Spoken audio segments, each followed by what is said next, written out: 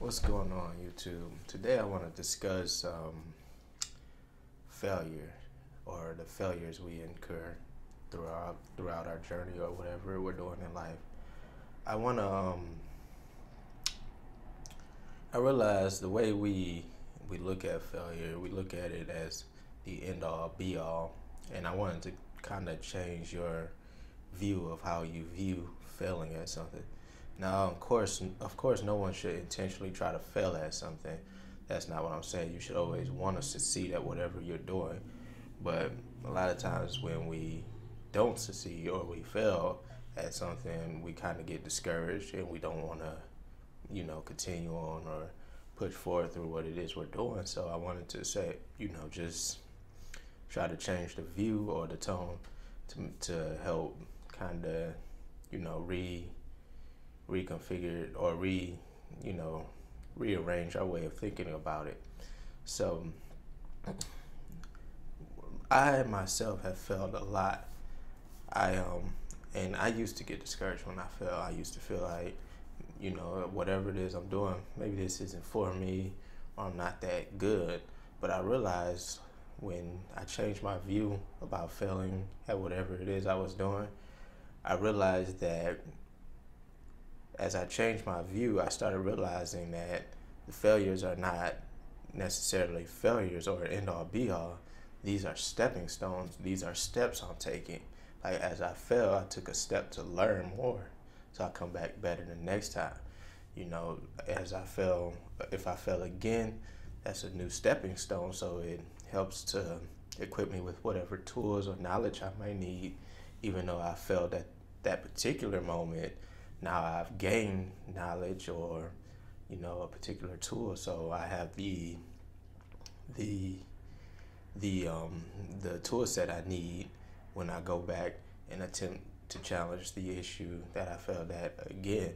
So I realized to rearrange my thinking so I could start to view my different failures as stepping stones. So, for example, I fell I fell at something. Let's say I um, I one of my 3D prints doesn't come out right, or for instance, like that giant boring drill that I created or 3D printed that took me two months to 3D print, two months nonstop having all my 3D printers running. And what I realized is many a times I failed at different parts. You know, I had parts that would print for like five days, and then, you know, something would happen. The extruder would jam, power go out, or the level or it um it couldn't remember its position and then it just sprays everywhere or just many different issues. But as I got aggravated the amount of money it was costing me to do that I realized I even though I kept failing or something was just happening whether something a piece would come off the print bed or whatever I didn't let that discourage me. I let that equip me with the tools or the different the tools or the um, or the knowledge I needed to complete the task. So, for example, let's say um, one of the prints came off the print bed or it didn't bind, bind to the print bed, bed correctly. What I would do is I would change the orientation to where you know it had a larger surface to stick to, so it wouldn't so easily come off the print bed.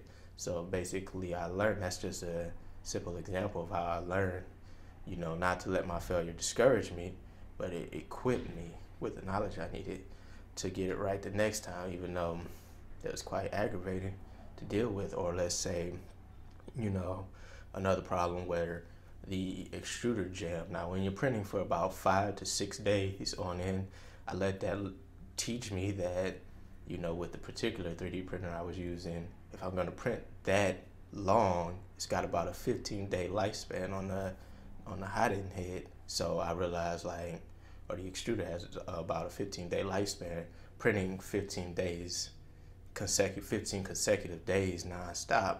So I let that teach me, you know. So for the next time, so it wouldn't jam in the middle of a print, it taught me that I need to swap out the extruder every, you know, 13, 14 days. So, you know, that's how I realized from all my various different failures, I've started, I've learned, and I came back and I succeeded. So I want you to not Now, don't intentionally try to fail, but always don't look at your failures as being the end all be all.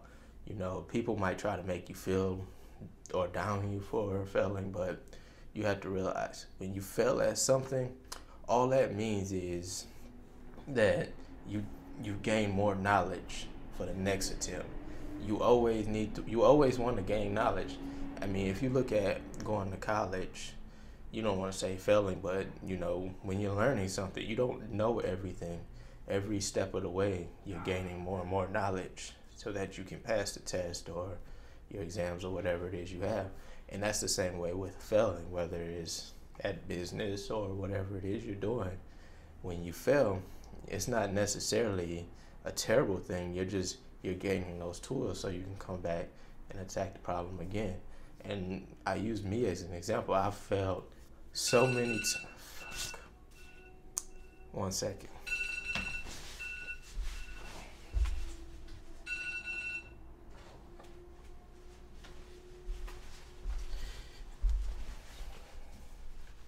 Okay, I'm not stopping this video because, you know, I, I, made a lot of good points. So, anyways, as I was saying, let failure guide, let failure be the teaching tool that teaches you how to do things correctly. Don't let failure discourage you, don't let it stop you. People will try to discourage you or down you for failing, but just always know failure is kind of like the learning process. Failure is the learning process. When you fail, you learn. You fail, you learn. You learn, you learn until you succeed. So that's my um, point for today. Is I want you to let let your failure be a learning process. Realign your way of thinking to see failure as a learning process and not the end all be all.